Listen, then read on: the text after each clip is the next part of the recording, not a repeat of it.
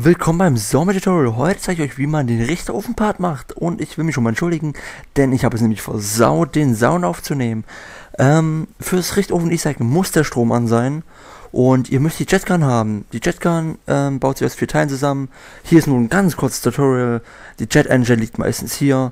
Ich werde nochmal in die Beschreibung einen Link packen, wo dann ein etwas längerer Weg ähm, gezeigt wird, wo man alle Sachen genau findet.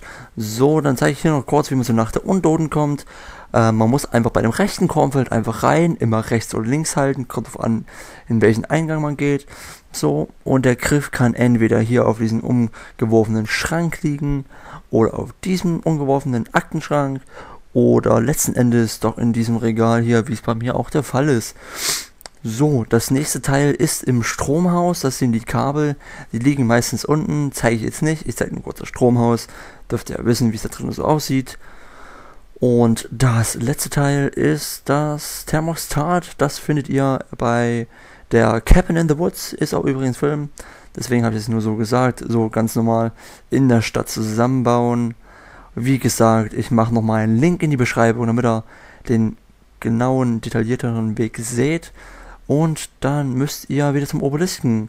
Wenn ihr bei der Feuerstelle reingeht, rechts, links, rechts. Wenn ihr vom Stromhaus her kommend in das Komfort reingeht, links, rechts, links. So, dann seid ihr hier am Tisch. Die Grundlage, denke ich mal, habt ihr auch schon gemacht. Wenn nicht, guckt einfach in meinen letzten Videos und da werdet ihr das auch finden.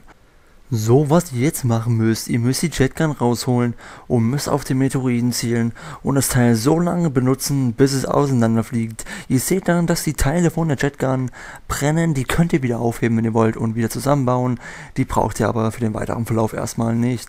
So, dann sagt Richtofen erst, genug aufgehitzt der Obelisk, jetzt müsst ihr hier drunter Zombies töten. Die Zombies müssen natürlich in diesem Umfeld von den Obelisken getötet werden, damit es zählt. Irgendwann kommt die Stimme von Richtofen, dass es genug sei. Das Problem hierbei ist, dass nur Martin, also der etwas dickere, mit dem Schnauzer Richtofen hören kann. Wenn der die Stimme hört, könnt ihr aufhören und mit dem nächsten Part beginnen. Der letzte Part des Richtofen Easter ist ein bisschen Glückssache, denn zwei Spieler brauchen mindestens zwei EMP-Granaten.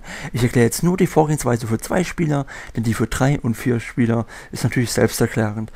Richtofen sagt, wir haben jetzt zu viel Strom und müssen den Strom durch 4 reduzieren. Das macht man, indem man EMP-Granaten an diese grünen Lampen hier wirft. So, und das macht man zu zweit, indem man schon mal einen Teleporter dahin macht, also so ein Bewohner des Waldes dahin bringt, dann gräbt er sich ein und dann ist der Teleporter da. So, dann wirft man gleichzeitig die EMP-Granate, springt natürlich auch sofort in den Teleporter rein, zückt gleich wieder die zweite EMP-Granate und wirft die auch gleich an die Lampe. Jetzt hat man auch dort wieder ein bisschen Glückssache, dass man nicht am gleichen Ort landet oder an dem, wo der andere Spieler die EMP-Granate zuerst reingeworfen hat. Jetzt zeige ich euch hier noch, wie die Lampen danach aussehen.